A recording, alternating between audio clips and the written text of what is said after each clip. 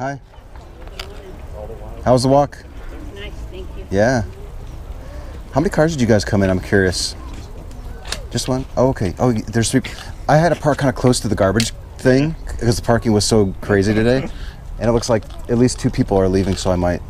Yeah, well, we're, I might go move my car in a we're little with bit. them, so we're definitely leaving. Oh, crud. Okay. Were you worried about the garbage? You're there? Actually, I was here yesterday and they hauled the garbage out, so I'm thinking they probably don't come every day. Right, they don't. So I think I'm probably safe, but Yeah. if a spot opened up, I'd jump on it. Yeah, I've parked there before. Oh, you have you? Yeah, near Okay. that. Oh, okay. Yeah, there's been no. How have you you- doing a survey or what? I'm doing interviews. Oh. I'm doing something called street epistemology, uh-huh. and I'm doing the street version of it. It's uh, normally these things just uh, somebody makes a claim, and then I ask questions, or people ask questions to gently inspect the claim that's being made. I initiate talks, and uh, I ask the person to pick a belief they think is true. They usually pick karma or their political view I got you. or they think a god is real, they've seen a ghost. I've been exploring phobias, prejudices, and anxieties lately. Uh-huh.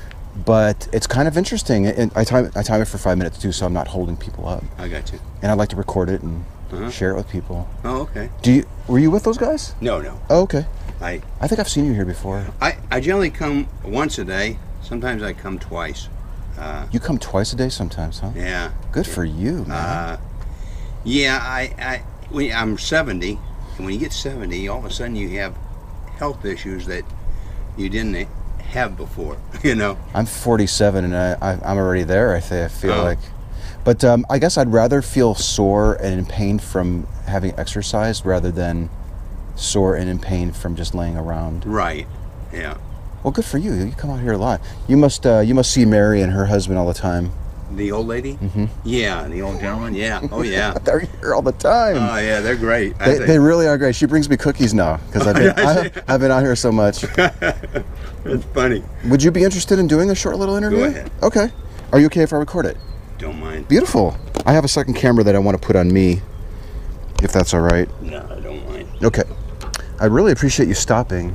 Well, I was, my wife said to me, she says, well, I think he's doing surveys. And Oh, you come here with, with your wife too? yeah, Is she on the trail now? No, no, no. She's not here today. Uh, uh, we have a bunch of appointments, and uh, she likes to fix dinner before she goes and stuff like that. Oh, okay. Yeah. Oh, very nice. Very nice. So you guys had seen me be here before, kind of wondering what I was. Yeah, I just that's why I stopped it. I appreciate you stopping. Uh, So when when the belief that's being picked, uh, what is your first name, by the way? Keith. I'm Anthony. Okay, Anthony. Yep. V- very nice to meet you. When the belief that we examine is very tied to who you are, it makes for a more interesting interview. But we can honestly talk about pretty much any claim. So if there's some belief that you have that you're very passionate about, and you would be a completely different person if you didn't hold the belief. And it's also something that, that you're very confident is true. Right. So the those are sort of the parameters. Okay. and what do you think? What do you what do you want to chat about? Let's see here. I uh voter ID. Voter ID. Mmm. Is that is that, is that a topic that's been discussed? I don't think I've ever spoken to anybody about that. And what is your claim about voter ID?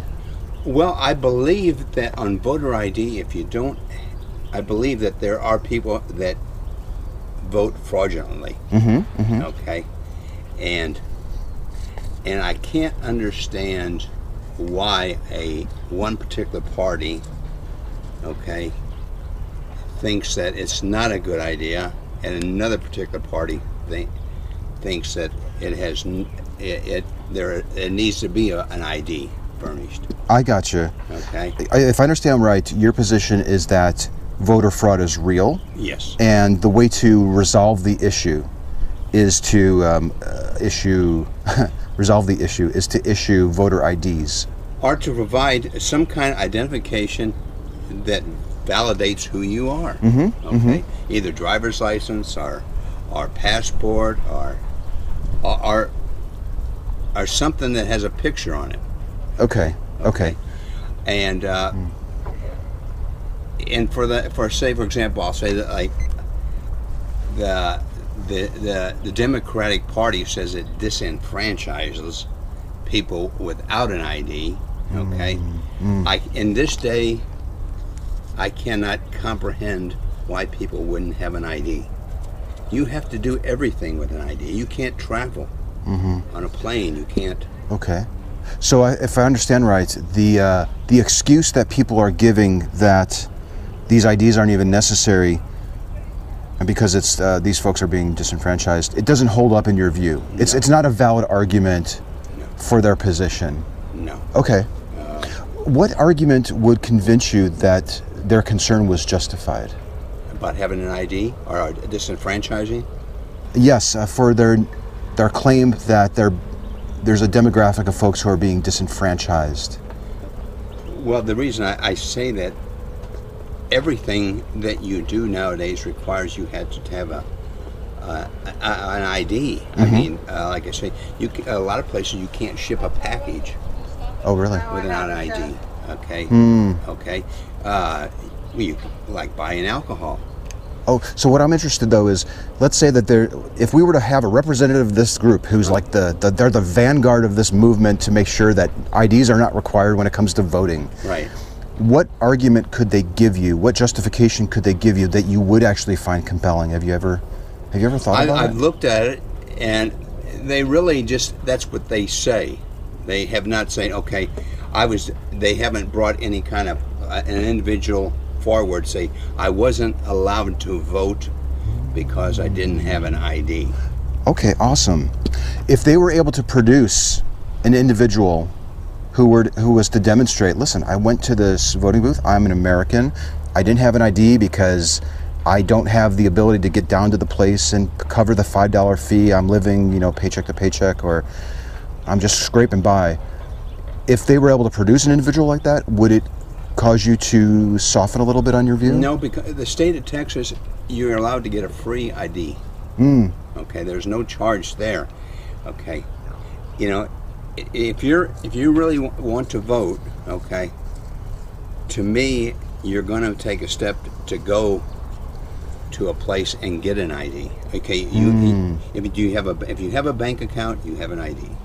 So, if I understand right, even if this vanguard leader of this movement to make sure that people can still vote without IDs was to produce a person, if that if that person came forward and said, "Listen, I just can't down, get down there," you wouldn't find that a valid excuse. I wouldn't because they, I, I don't believe that they, they, I believe that they should be able to take initiative to, to get the right document.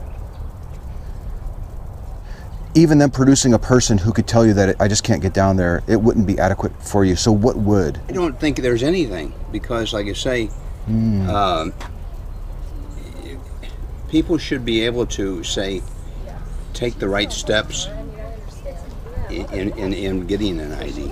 Okay, There's nothing that could. if you don't have that ID, okay, you sign an affidavit saying that you did you don't have an ID and you weren't able to go get one. Okay, you sign an affidavit. At the voting place? Yes. Steve Hedges. Oh, okay. Uh, say that again now. You can actually go to show up at the vote without an ID, Without an ID, and then you just you a- a- affirm. you affirm That- that, you haven't been able to get an ID and you do Oh. not have one, and you sign okay. an affidavit, and they will allow you to vote. Oh, okay. But however, what happens is if you if they find out that you do have an ID, okay, Mm. they can bring charges against you. Because you would be misrepresenting or lying Right. uh, about your situation. Right. So, but uh, okay. So, if a person couldn't get an ID, showed up to vote, and affirmed that uh, they just don't have an ID, Right. they would be legally allowed to vote. Correct. And are you okay with that? Yeah, I'm fine with that. Went to the festival. hmm.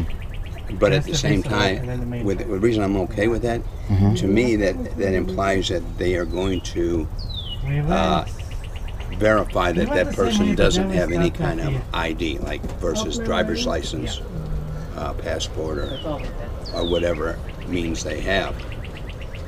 Would, So- would you mind repeating that last moment? I was I was kind of listening to them. Sorry, Well, I get distracted really I- I easily. understand. To me, they're they're they're going to by them uh, signing that document and them accepting it. I believe that they're going to somehow validate. Okay, that person did not have an ID. I see. Uh, you're you're uh, you're hopeful that there's a process in place to make sure that the affirmation isn't breaking any laws and it's really a person who doesn't have an ID. Right. Okay. Why is voter ID so important then if there seems to be a process in place to make sure that these things can happen without an ID? One time, when after my mother had passed away, hmm. okay, Sorry to hear that. Uh, she received, or I received a call about her voting.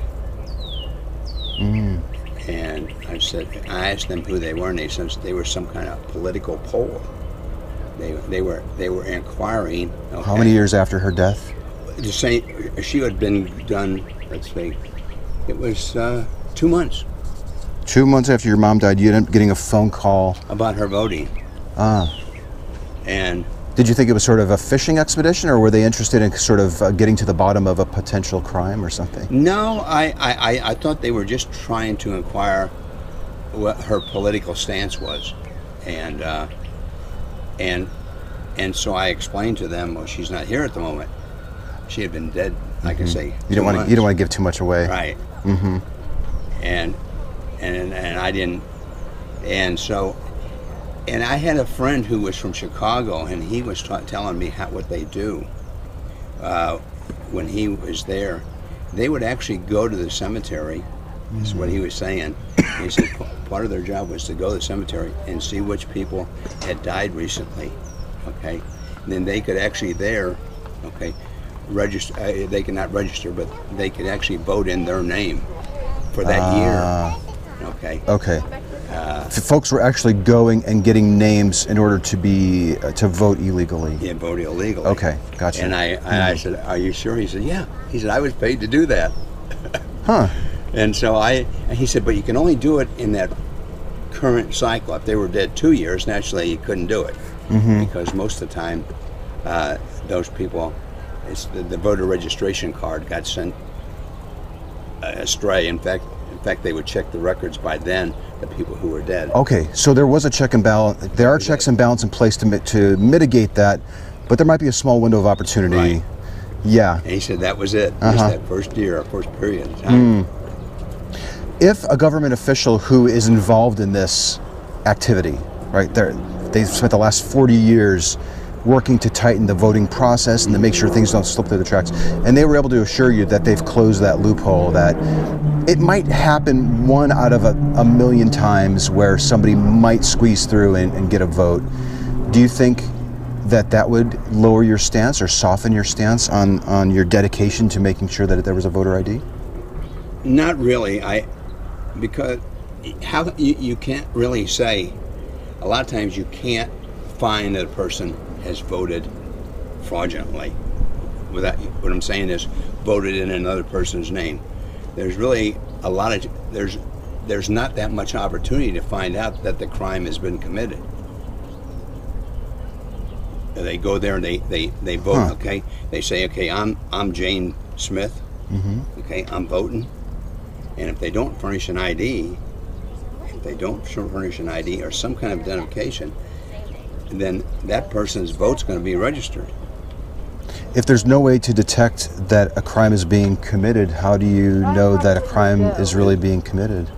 Well, again, I can only my experience with with my mother, and then with I was Oh, okay. So that was a pretty influential phone call that you Right. got, and then sub- subsequent conversation with your friend. right. If you hadn't received that phone call, let's say you're watching the TV and you just let it go to voicemail, and they hung up, and it never happened, and then you never had your subsequent conversation with your buddy, would you be so resolute on your position? Probably not because they wouldn't have had that much knowledge, or I wouldn't have even have thought that you could have committed fraud. So that was a pretty influential phone call. Right. Let's say your buddy calls you up and says, Keith, dude, remember that call we had uh, like that, that year your mom died and you got that phone call? I've actually been doing some research and this really isn't as big of an issue as you that I led you to believe. Yeah. What would you say to him? Well, I you say big issue. I think one vote, okay, fraudulent vote is one too many. Okay. Hmm. Uh, you want perfection during the voting Well, process. I, I, correct. I, I think every hmm. vote should count. Mm-hmm. Uh, whether you vote Democrat or Republican, I don't care. Okay, but I, I just believe that there should be no fraudulent voters. That was a wonderful talk, sir. I really enjoyed that. Would you like a water? No, no, thank you. Okay. But thank you. Yes, sir. You take it easy. We'll see you around. I hope so. Bye bye. Hi. So, Now I'm gonna say that was a great, great talk. What a great guy. Uh, and it was a fun, it was a fun topic too. We were talking about voter identification and the fraud that he thinks is going on. It sounds like the the phone call that he got with, from his friend was was instrumental in in driving home his resolute fastness. is that even a word? His resolute steadfastness, maybe, uh, to this position. Even if a person could come forward to explain that uh, that this fraud isn't really happening on a scale that you think that it is, he would still be tied to it. I have to say, this was quite an interesting talk. Uh, I got a real kick out of it. It's a topic that I've never covered before. I really liked the the way that that started too. But we had a good discussion, and I feel like I really understand where he's coming from, and I'm optimistic that he's just walked away with a better understanding of where he stands on this particular issue, and maybe he is putting a little bit more weight on that one phone call than maybe he should. I don't know. We didn't raise our voices. I wasn't arguing with him. I wasn't telling him, "Hey, dude, you sound like a person who would have voted for that asshole Trump." But no, it's it's not necessary. Hey, how are you? You good? Who are you talking to? I'm talking to my camera. It's going to be on TV. YouTube. Yeah, but how do I look it up? How do you look it up? Do you have a computer? Go to youtube.com and type in my name. Anthony. Anthony, well, Anthony Magnabosco. How am I going to that? I could write it down for you. Okay, write it. Because I think I tried before and I couldn't get it. Oh, really? Is it going to make me discouraged? That's hard to say. It's not. you know. That's my last name. It's going to smear, so um, let it dry first. M A G N A B O S C O. You got it. Bye, I dear. love you. God's still waiting on you. Okay. Okay, Have a nice one. Every single time. All right. Well, what I was saying is that what was great about that talk is that it didn't get heated. I didn't say, hey, dude, you look like the kind of guy who would vote for Trump. And I'm progressive and you're in this category and let's duke it out. No. I asked him questions to figure out how he's so sure that what he thinks is true. And I think the big reveal there was that he's putting a lot of weight on that one phone call, on that discussion that he got from his friend. And I'm optimistic, honestly, that he might be thinking about that talk and his position on this topic more than he would have if I had argued with him and pulled out my phone and, and dug up statistics on the fraud rate of voting in the United States. I doubt he would find that compelling. He might, I don't know. But um, we can cross that bridge when we come to it. SE is so good about assessing where a person is on their belief. And I think that was just a wonderful illustration of it.